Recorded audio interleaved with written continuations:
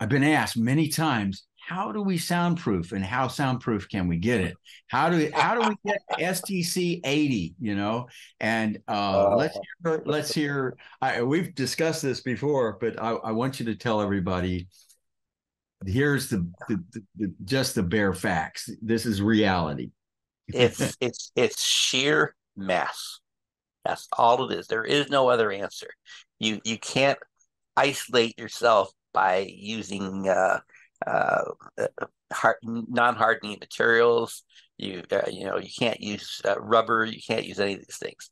It's sheer mass. All you're going to do with these other things is cause you to have a thicker wall. Okay, if you if you want uh, the best option you have is to have a a layered wall on either side of two separate uh, studded walls with a gap in between.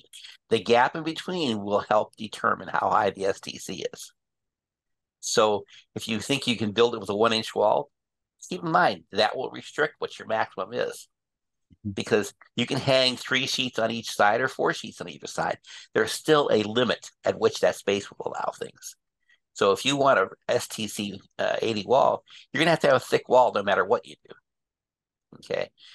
Again, uh, what you want to do is if you want to put on layers of, of, of sheetrock, you do a layer of sheetrock and then a layer of concrete board which has a different density and a different impedance. You want to have varying impedances among heavy duty stuff. So like in our room, you know, what we have is is is five to six layers of alternating uh, sheetrock and concrete. Okay, and that's on top of a 12 inch stud, which is on top of six more or eight more layers on the other side, or you know, five feet of concrete and then having make sure that outside your background noise is only 19 or 20 dB. Okay. STC80 is virtually impossible to get. Okay. Uh, because you can figure you can get a 62. Uh, I'm going to treat you to one bit of knowledge. You can build double stud walls. That's what most people have done for years. Okay. Even if you use a two by four on each side, that means that you have three and a half plus three and a half. That's seven inches. Okay. Plus you leave an inch in between. Okay. So that means you have eight inches of studs and construction. Then you put on another uh, inch and a half, three inches, four and a half inches of sheetrock or material on one side and four and a half inches on the other side, let's say. Okay, that's another nine inches on top of the original uh, uh, seven inches. Okay, this means you've got a 16 inch thick wall. Okay, that will give you an estimated uh, STC of around 67, 68. Mm-hmm. Okay, maybe you might get lucky and hit 70 depending upon what's outside. But the facts are that's what it takes to get to a 70.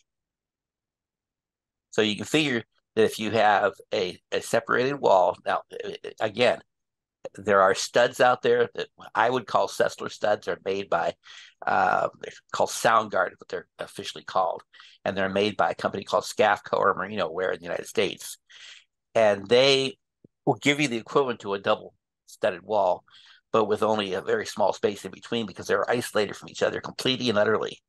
There is nothing contacting. So, uh, one set of six inch studs, okay, in this case, plus uh, inch and a quarter on each side, which is double layer on each side, will give you a 62.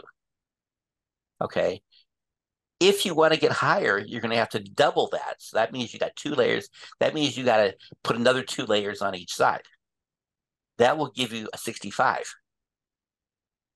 If you want to double that, not even double that, if you're going to go three more dB, it's going to require doubling that. So it could be eight layers to get to a 68 yeah. on each side. Yeah. So it, it's, you know, the only option then is to have a double wall that's 20, 30 inches thick.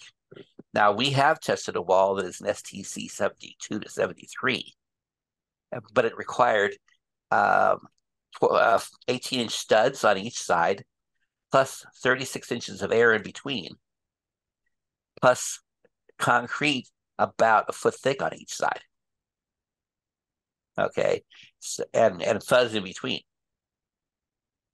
You know, and this was used in the theater in order to isolate theaters for low frequencies, especially when they when they have the movies with all the thump thump thump thump and stuff like that.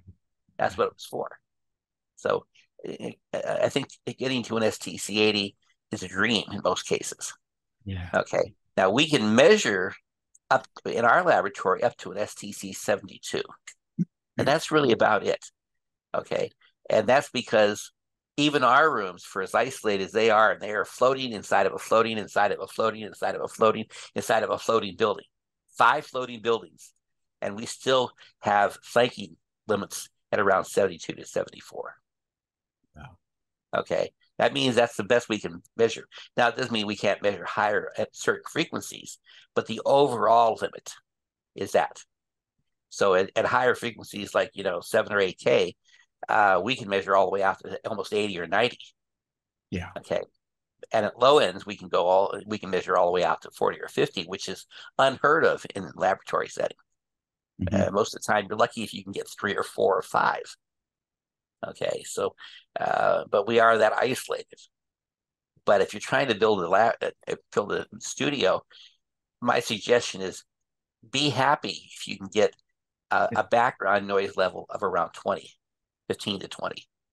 If you can get 15 to 20 inside, you're doing really, really good.